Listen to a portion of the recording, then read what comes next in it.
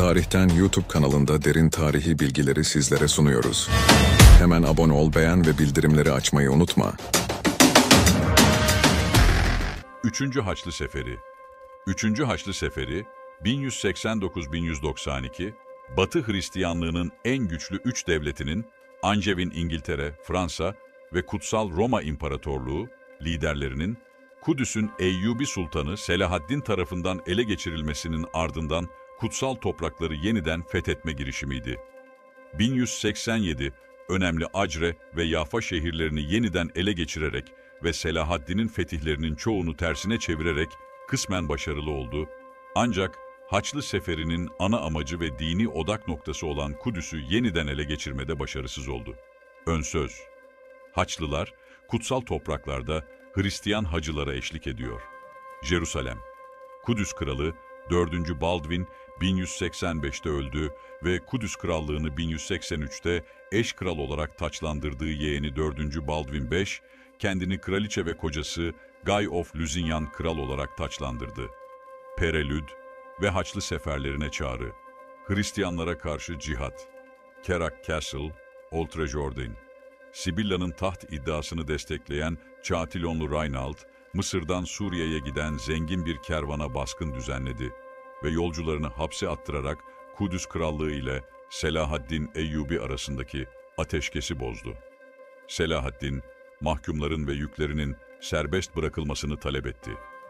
Yeni taç giyen Kral Goy, Reinald'a Selahaddin Eyyubi'nin taleplerini yerine getirmesi için çağrıda bulundu. Ancak Reinald, kralın emirlerine uymayı reddetti.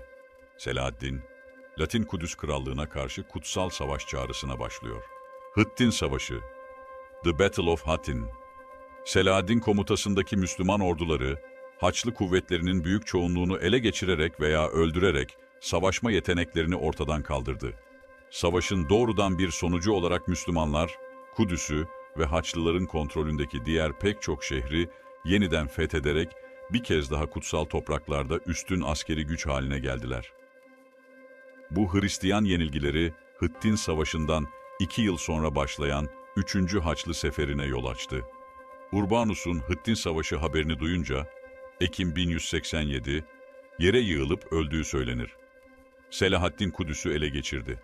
Jerusalem Kudüs, bir kuşatmanın ardından 2 Ekim 1187, Cuma günü Selahaddin'in kuvvetlerine teslim oldu. Kuşatma başladığında Selahaddin, Kudüs'ün Frank sakinlerine çeyrek dönem vaat etmek istemiyordu. İbelinli Balyan, 5000 olduğu tahmin edilen her Müslüman rehineyi öldürmekle ve İslam'ın kutsal türbeleri olan Kubbetüs Sahra'yı ve Mescidi Aksa'yı böyle bir alan sağlanmazsa yok etmekle tehdit etti. Selahaddin konseyine danıştı ve şartlar kabul edildi. Anlaşma, herkesin 40 gün içinde kendi ihtiyaçlarını karşılayabilmesi ve Selahaddin'e özgürlüğü için kararlaştırılan haraçları ödeyebilmesi için Kudüs sokaklarında okundu. Şehirdeki erkek, kadın veya çocuk her frank için o zamanlar için alışılmadık derecede düşük bir fidye ödenecekti. Ancak Selahaddin, haznedarının isteklerine karşın fidyeyi karşılayamayan birçok ailenin gitmesine izin verdi. Kudüs'ün ele geçirilmesi üzerine Selahaddin, Yahudileri çağırdı ve şehre yerleşmelerine izin verdi. Papa Gregory VII, 3. Haçlı Seferi çağrısında bulundu Rome, İtalya Audita Tremendi, 29 Ekim 1187'de Papa 7. 4 Temmuz 1187'de Hattin Muharebesi'nde Kudüs Krallığı'nın yenilgisine cevaben Gregory'nin Urban III'ün yerine Papa olarak geçmesinden birkaç gün sonra yayınlandı. Gregory, Cenova ile Pisa düşmanlıklarını sona erdirmek için Pisa'ya gitti limanlar ve deniz filoları Haçlı Seferi için bir araya gelebilir. Kutsal topraklara yolculuk ve ilk görevler. Frederick Barbarossa haçı alıyor, Regensburg, Germany. Frederick I, kutsal topraklara giden üç kraldan ilkiydi. Toplanma için Regensburg'a geldi ve ardından Frederick, 2000-4000 şövalye dahil 12.000-15.000 kişilik bir orduyla Regensburg'dan yola çıktı. Acre kuşatması, Acre. Akka kuşatması, Kudüs Kralı Guy'un, Suriye ve Mısır'daki Müslümanların lideri, Selahaddin'e karşı yaptığı ilk önemli karşı saldırıydı. Bu önemli kuşatma, daha sonra 3. Haçlı Seferi olarak anılacak olanın bir parçasını oluşturdu. Kuşatma Ağustos 1189'dan Temmuz 1191'e kadar sürdü. Bu sırada şehrin kıyı konumu, saldıran Latin kuvvetlerinin şehre tam olarak yatırım yapamaması ve Selahaddin'in her iki tarafında deniz yoluyla malzeme ve kaynak almasıyla şehri tam olarak rahatlatamaması anlamına geliyordu. Nihayetinde bu, Haçlılar için önemli bir zaferdi ve Selahaddin'in Haçlı devletlerini yok etme hırsı açısından ciddi bir yenilgiydi. Filomelion Savaşı. Akşehir, Konya, Turkey. Filomelion Muharebesi, Latince Filomelium, Türkçe Akşehir, 3. Haçlı Seferi sırasında 7 Mayıs 1190'da Kutsal Roma İmparatorluğu'nun Rum Sultanlığı'na bağlı Türk kuvvetlerine karşı kazandığı zaferdir. Mayıs 1189'da Kutsal Roma İmparatoru Frederick Barbarossa, Kudüs şehrini Selahaddin'in güçlerinden kurtarmak için 3. Haçlı Seferi'nin bir parçası olarak kutsal topraklara seferine başladı. Bizans İmparatorluğu'nun Avrupa topraklarında uzun süre kaldıktan sonra İmparatorluk ordusu 22-28 Mart 1190 tarihleri arasında Çanakkale Boğazı'nda Asya'ya geçti. 7 Mayıs akşamı Filomelyon yakınlarında Rum Sultanlığı'nın Man-Türk kuvveti, Haçlı ordusu, Swabia Dükü, 4. Frederick ve Merania Dükü, Berthold liderliğindeki 2000 piyade ve süvari ile karşı saldırıya geçerek Türkleri kaçırdı ve 4174-5000 kişiyi öldürdü. Konya Savaşı, Konya, Turkey. Anadolu'ya ulaştıktan sonra Frederick'e Türk-Rum Sultanlığı tarafından bölgeden güvenli geçiş sözü verildi. Ancak bunun yerine ordusuna yönelik sürekli Türk vur kaç saldırılarıyla karşı karşıya kaldı. 10 bin kişilik bir Türk ordusu Filomelyon Muharebesi'nde 2000 Haçlı tarafından mağlup edildi ve 5000 Türk öldürüldü. Haçlı ordusuna yönelik devam eden Türk baskınlarının ardından Frederick, Türkiye'nin başkenti Konya'yı fethederek hayvan ve yiyecek stokunu yenilemeye karar verdi.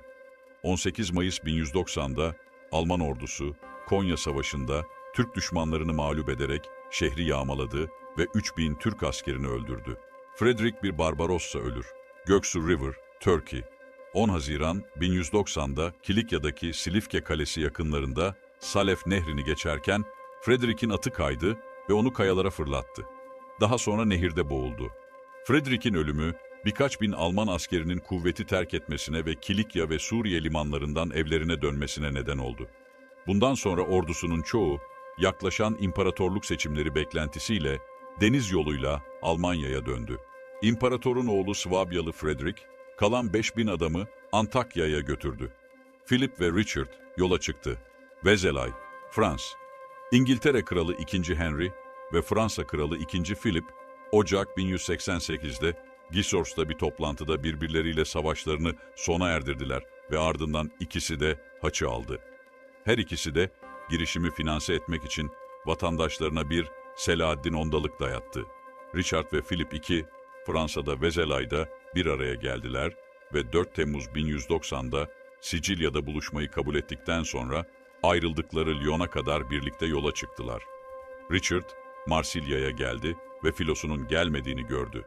Onları beklemekten ve gemi kiralamaktan çabucak yoruldu.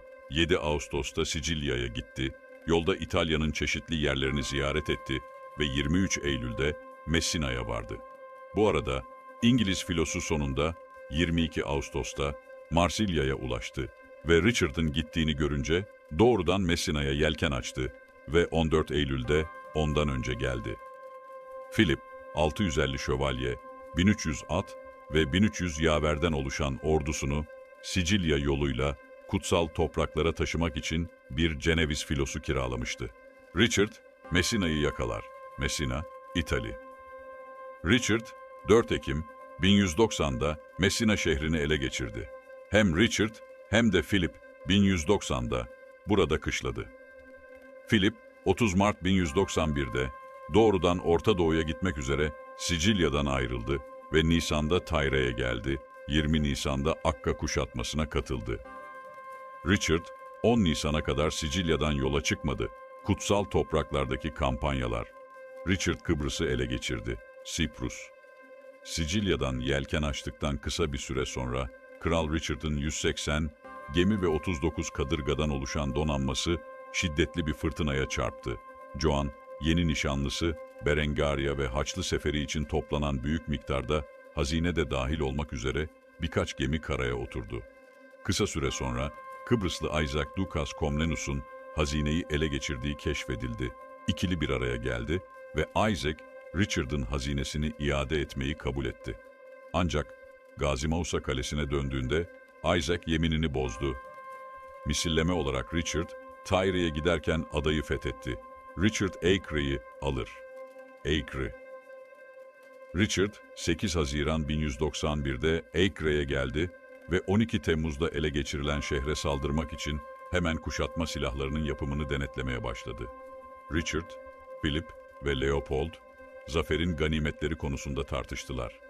Richard, Leopold'u küçümseyerek şehirdeki Alman standardını düşürdü. Richard'dan bıkan ve Philip'in durumunda sağlığı kötü olan, Philip ve Leopold ordularını aldılar ve Ağustos'ta kutsal topraklardan ayrıldılar. Arsuf Savaşı, Arsuf Levant. Acre'nin ele geçirilmesinden sonra Richard, Yafa şehrine yürümeye karar verdi. Kudüs'e bir saldırı girişiminde bulunulmadan önce Yafa'nın kontrolü gerekliydi.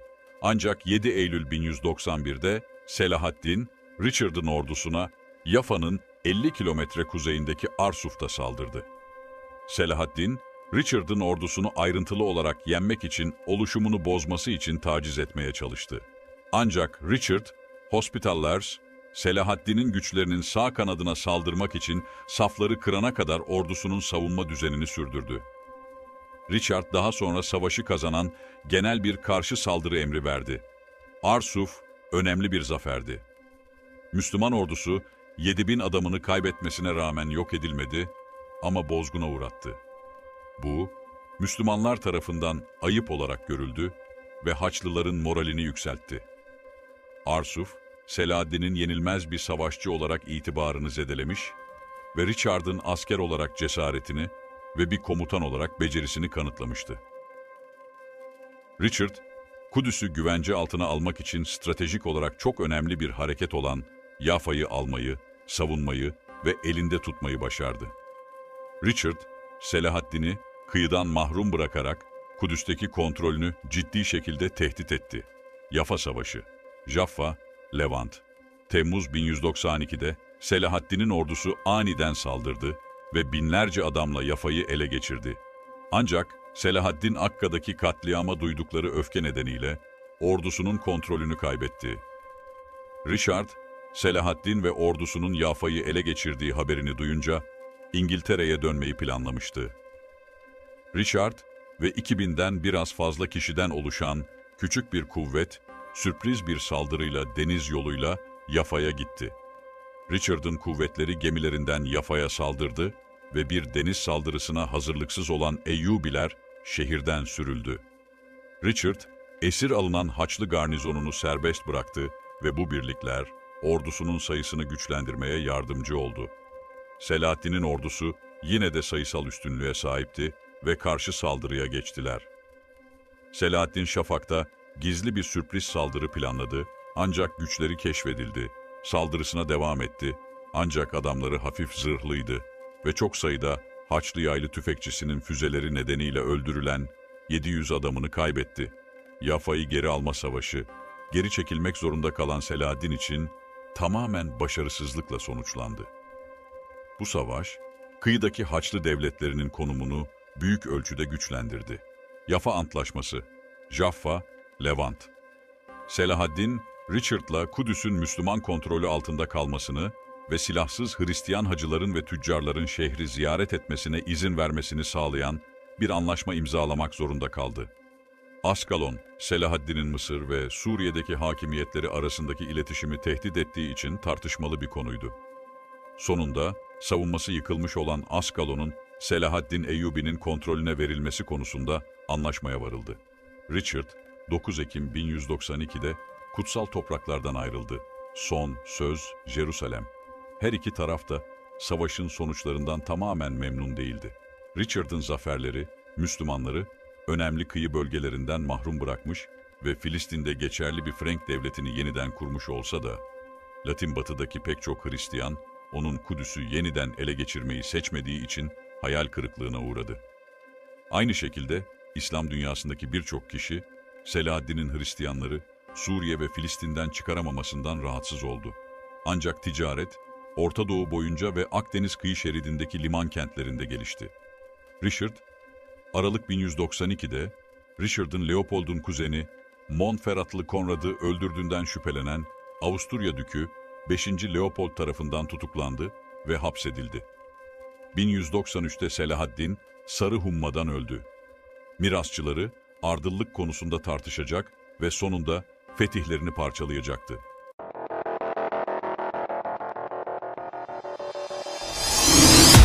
Tarihten YouTube kanalında derin tarihi bilgileri sizlere sunuyoruz. Hemen abone ol, beğen ve bildirimleri açmayı unutma.